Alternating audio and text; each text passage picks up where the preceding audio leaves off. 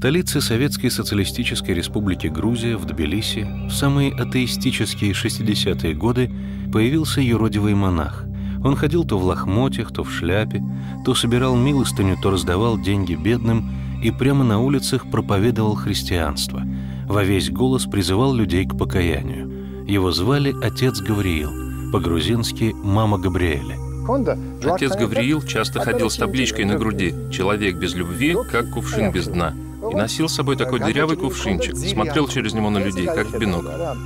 Верующие видели, отец Гавриил Ургибадзе – человек Божий, и приходили к нему за молитвой и советом. Официально же его признали душевно больным, выдали справку. Он был у них на учете, и платили ему пенсию, и давали ему лекарства. Я часто ходила за этими лекарствами, потому что их надо было брать. Церковь, там, где покоится святая Шушаник, там был театр. И он ходил туда, и он последними словами их ругал. И знаете, как ругал? Он не мог этого вытерпеть. И его гнали оттуда. Ну, сумасшедший пришел, и вот что он творит тут. Он ругался. Как вы можете в церкви устраивать театральные представления? Это же богохульство. Я переживала и говорила ему, что ты делаешь? Ведь тебя могут арестовать. Нет, Эмма, они смотрели на меня, как истуканы. Проповедовал постоянно Господа. Среди соседей заходил к ним в дом. Некоторые были такие атеисты. Иногда и выгоняли его. А он говорил, что вы делаете? Веруйте, веруйте в Господа. Он единственный, который был, есть и всегда будет. Городской сумасшедший или великий подвижник. Для всех, кто хоть раз встречался с отцом Гавриилом, ответ был очевидным. Ведь старец видел людей насквозь, знал их прошлое и будущее. И главное, это был кувшин без изъяна. Человек, наполненный любовью.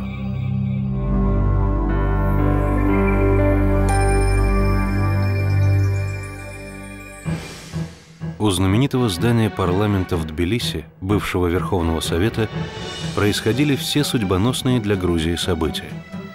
Но самый первый мятеж здесь, на проспекте Руставелли, случился в далеком 1965 году и устроил его отец Гавриил Ургибадзе во время первомайской демонстрации. Здесь была вывешена портрет Ленина. И вот отец Гавриил проник сзади этого портрета он э, налил, э, налил на этот портрет керосин и потом спичками спалил. И воспламенился весь этот портрет э, Ленина. И эти лампочки тоже да, начали взрываться.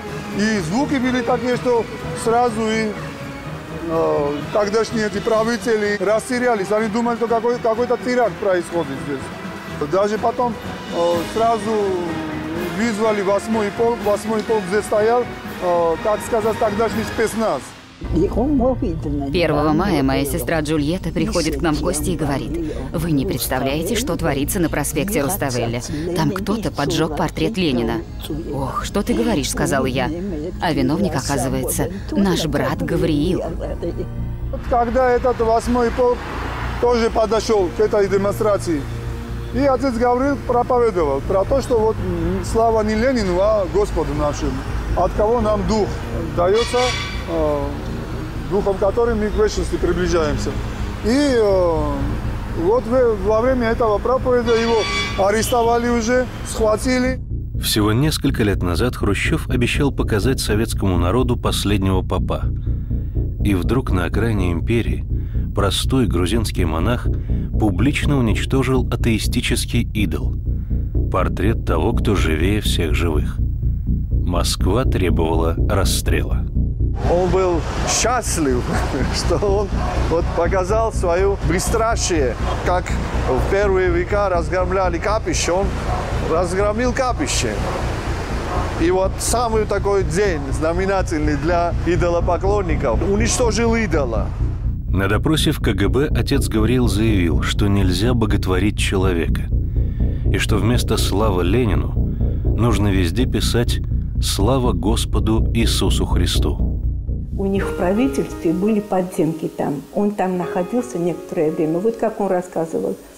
И говорит, вот этот Шиварнат и вся его свита, они, говорит, ночью после 12 часов ночи, чтобы никто не видел и никто не знал, поднимали, говорит, меня и спрашивали, слушай, скажи, что за ты человек, что ты натворил, почему ты это сделал? Ну, а он старался вот этот огонечек маленький, да, Святого Духа вложить в их сердца. И, по-моему, немножко даже у них получалось, потому что они решили, что этот человек необыкновенный, нельзя его расстреливать. Давайте определим его в сумасшедший дом. Ну, сумасшедший, а сумасшедшего ничего не спросится. Его отправили в сумасшедший дом, как это э, удел было многих э, диссидентов, э, свободомыслящих людей. И начали там мучить его.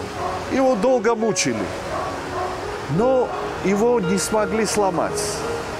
И когда его отпустили, он вышел еще возвышеннее, еще укрепленный в духовности. Э, и он продолжал вот это свое, э, так сказать, подвижничество. С диагнозом «психопатическая личность верит в Бога и ангелов» отец Гавриил получил белый билет.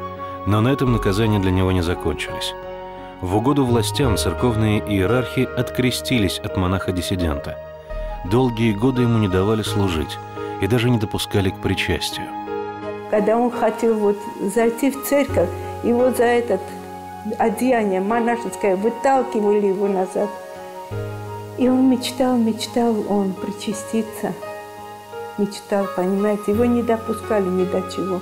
И сколько раз он плакал – Сколько раз горькими слезами я его видела плачущим.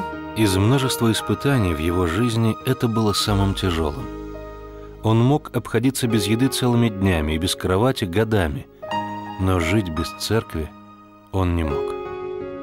Он ходил по всем деревням, где были старые церкви, и он старался эти церкви восстановить своими руками – и он очень много церквей восстановил своими руками и безденежно, потому что денег у него никогда не было.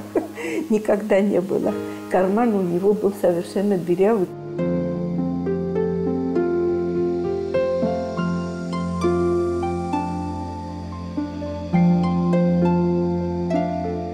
Еще задолго до того, как принять монашество и новое имя, тбилисский мальчик Гадердзе Ургибадзе – полюбил церковную жизнь. Во дворе сядет, из маленьких камушек построит церковь, возьмет мою куклу туда, поставит в эту церковь и говорит «иконочка». В юности он окончательно решил посвятить себя Богу и на отрез отказался жениться.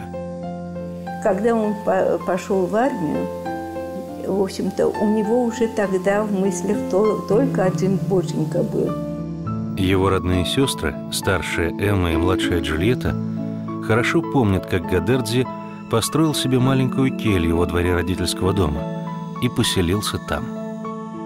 А келья у него была, знаете, вот грузинская тахта. Это значит вот низкий стол, низкий стол, да, и деревянный, сбитый вот вручную. Это он, видимо, сам избил этот тахту себе. Он был аскет – видимо, не менее, чем афонские старцы. Потому что когда моя мама одеяло или подушку заносила к нему в келью, тихо-тихо где-то туда клала, чтобы он укрылся ночью, мы видели, что это одеяло и подушка валялись тут же во дворе, как только он заходил в свою келью. В 26 лет он принял монашеский постриг и стал отцом Гавриилом – во дворе дома он затеял новое строительство из подручных материалов и за несколько лет воздвиг настоящий храм. Так что у семьи Ургибадзе теперь есть такая необычная домовая церковь. Если зайти внутрь, стен не видно. Они сплошь покрыты иконами, спасенными из мусора городских свалок. Он ходил по свалкам. Возьмет палку, оденет шляпу страшную, какой-то плащ и идет на свалку – и вот нам говорят, он опять был на свалке. А мы говорим, Гавриил, что ты там на свалках делаешь? У нас же все есть дома. Но он, он оттуда, с этих свалок, приносил такие дивные иконы. И впереди у него как мастерская была. И вот пойдет на свалку, принесет эти иконы, реставрирует, реставрирует, реставрирует их, и они превращались прямо это чудо Божье, эти иконы. Это же правда чудо Божье, каждая икона. Он целыми днями ходил и искал эти иконы. Соседи тоже приносили. Потом он все чистил своими руками. Я еще мальчишкой часто сбегал с уроков и приходил к отцу Гавриилу. И вот как-то раз захожу и вижу, что у него горят глаза от восторга. Он рассказал, что ранним утром он проснулся, и что-то будто заставило его бежать из дома неизвестно куда. Он бежал, бежал, и вдруг оказался на свалке, где как раз в тот момент разгружался мусоровоз. И он увидел, что из кузова машины вместе с мусором падает икона Иверской Богоматери. Он поймал ее в воздухе, и это была та единственная секунда, когда можно было спасти икону. Иначе она потерялась бы навсегда под грудой мусора. Советские власти не раз требовали снести этот самодельный храм. Однажды и один архиерей попросил отца Гавриила убрать хотя бы только башенки. На что монах ответил, «Хорошо, но только если вы снимете с себя одно лишь свое облачение». Вот видите, здесь у него Николай II. Я говорила ему, спрячь эти фотографии. Коммунисты увидят, и у тебя будут проблемы с властями. Нет, Эмма, они должны висеть, как иконы. Николай святой, вся семья святая, а большевики их убили. В великолепии рукодельного храма для самого себя отец Гавриил отвел вот этот темный угол. Здесь он вырыл яму и частенько спал прямо в ней, на холодной сырой земле. Нам было очень жалко его. Было больно смотреть, как он себя истязает. В 80-е годы отец Гавриил поселился в женском монастыре Самтавра, что в центре древней Мцхеты. Сестры долго удивлялись его чудачеством, пока не увидели в них особый подвиг старца. Пришел отец Гавриил. Он начал жить там в курятнике. Была такая осень уже, э, поздняя, наверное, ноябрь, что ли. А щели вот такие большие, громадные щели. И весь в помете. Он там начал жить, и мы даже мы не представляли ему или холодно, или, вот, и он, или голоден. Настолько он был как, каким-то, как будто не от, не от мира сего. Зимой он ходил босиком в снегу, то кричал, то что-то кого-то обличал. От него исходила какая-то энергия любви. Он всех любил. И ни в какие рамки он не вмещался. Он всегда требовал с нас как-то любви и сердца. Вот он мог э, поцеловать Иисуса Христа, если он был в телевизоре. Например, фильм был в телевизоре и о Иисусе Христе. Он прямо подошел к телевизору и поцеловал. Для монахинь у старца была своя жесткая методика обучения смирению. Он то ругался на сестер, то велел им есть и пить из грязной посуды. Он был очень странный для меня, странно себя вел вообще. Часто кричал, ругался, был пьяным. Но даже когда он ругался, его глаза светились любовью. И поэтому никогда не было страшно. И всегда хотелось быть рядом с ним. Не давал, например, покоя, когда уже было свободное время, и мы, я хотела там посидеть, почитать или даже помолиться, он вдруг врывался, заставлял там суп делать или за какими-то гостями ухаживать. Сестру Теодору старец брал с собой в Тбилиси попрошайничать. И он начал э, клянчить деньги, попрошайничать. И когда он начал попрошайничать, он начал эти деньги давать мне в руки. И вдруг я увидела наших, моих знакомых. И вот по лицу я увидела какой-то ужас у них в глазах. И догадалась, насколько это я выгляжу, наверное, не на... Меня и так считали ненормальной, когда я в монастырь пошла. Когда еще клянчить деньги там – а он мог э, эти деньги потом раздавать бедным. Никак, он никогда при себе денег не, не держал. А когда мы садились э, в такси, я думала, вот, вот этот водитель, наверное, не знает, что его ждет. Он шокировал э, мог ничего не дать таксисту, там, не заплатить деньги или заплатить 50 раз больше. Сам отец говорил, появлялся в столице то босиком и в лохмотьях, то с медной диадемой на голове. Он говорил, когда все смеются надо мной, я вижу, какое я ничтожество. Но юродство было лишь одним из подвигов старца. Всю страстную седмицу из его монастырской кельи слышался плач. Так горячо он молился. Рассказывают, что во время молитвы он поднимался в воздухе на 40-50 сантиметров, и от него исходил свет. Отца Гавриила верующие почитали великим подвижником и часто приходили к нему как к живому святому. Всех гостей старец принимал за накрытым столом, и на трапезе обязательно был профессор, так батюшка называл красное вино. При этом сам отец Гавриил почти совсем ничего не ел. Мог обходиться несколькими крупинками сахара в день. Как-то отцу Гаврилу говорит, что отец Гаврил, вы тоже что-то покушаете, а он говорит, что я другое кушаю здесь. А он питался любовью. И он говорит, что надо питаться любовью, любовью божественной, а, а, а не только а, этим ну, продуктом. Митрополиту Даниилу довелось сразу после пострижения в монахи попасть на застолье к старцу Гавриилу. Меня когда э, постригли в монахи, э, матушки э, посоветовали мне, чтобы быть в Сан-Тавро, чтобы я, э, так сказать, несколько дней провел в алтаре. Отец Гавриил приходит и говорит, пойдем выпьем. Они говорят, куда его везете? Он то, только что... И я не мог не слушаться. Я не пил, но я пошел из алтаря, я сидел с ним, и я чувствовал, что э, с ним быть – это э, значит быть с Богом.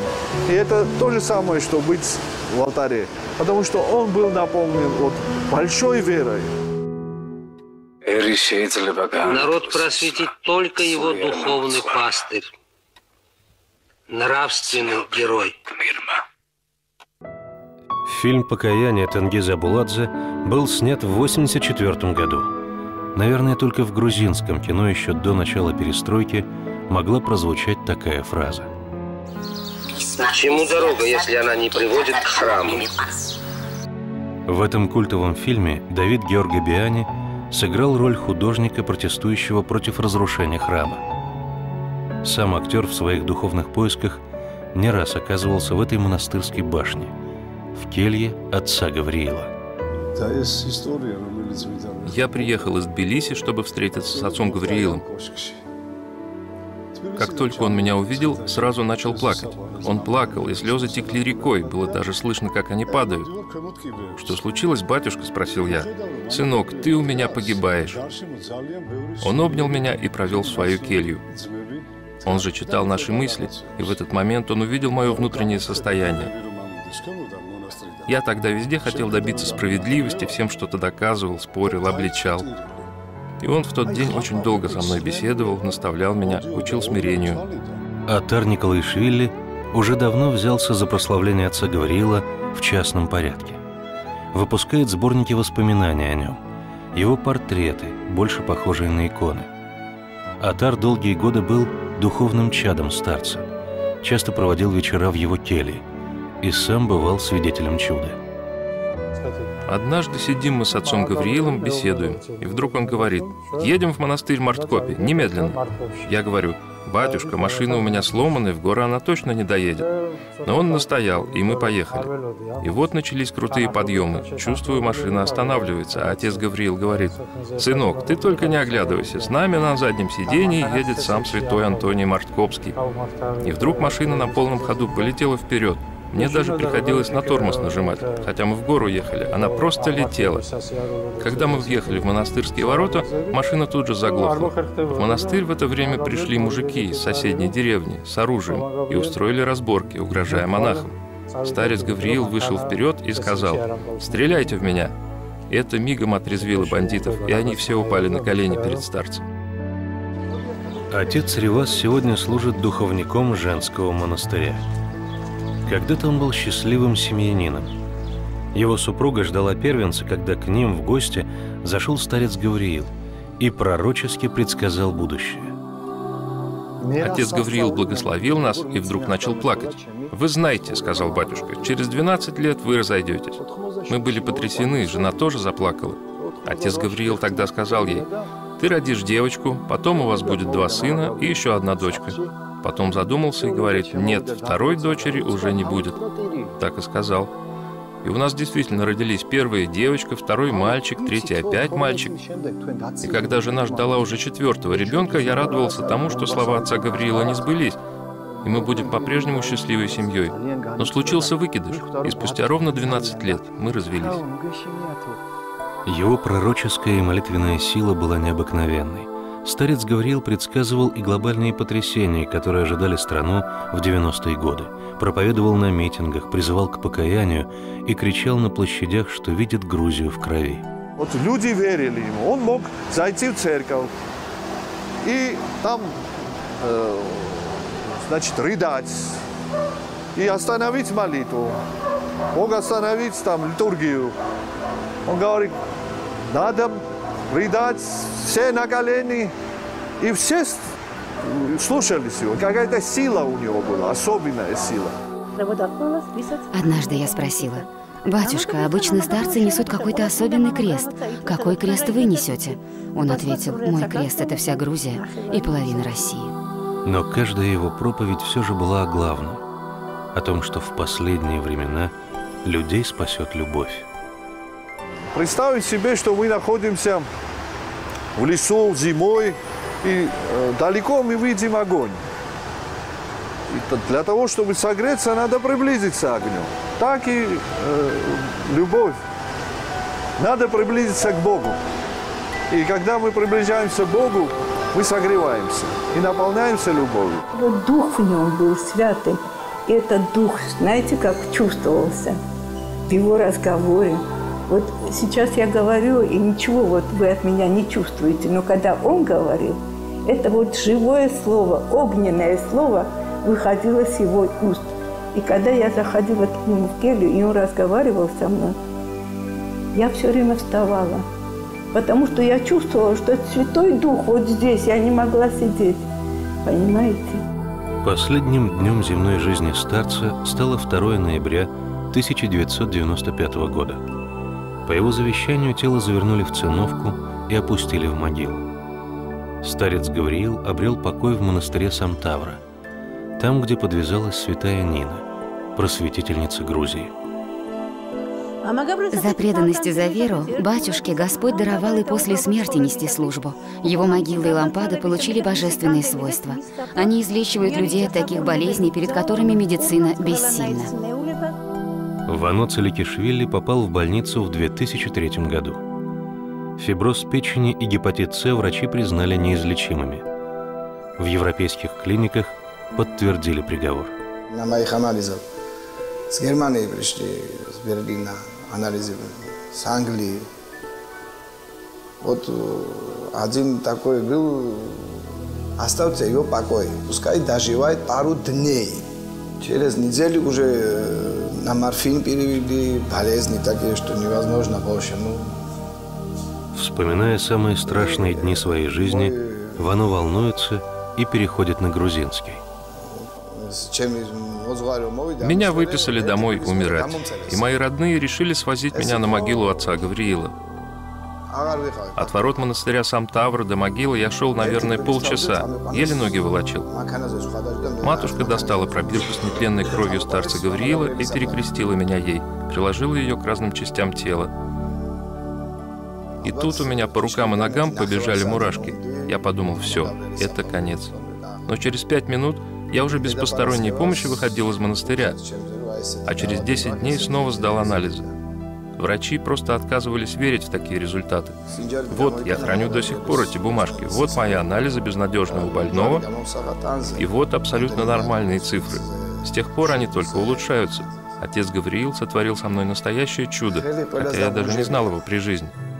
Возможно, история Вано войдет в новый сборник рассказов верующих о подвижнической жизни старца Гавриила и о той помощи, которую он оказывает людям до сих пор.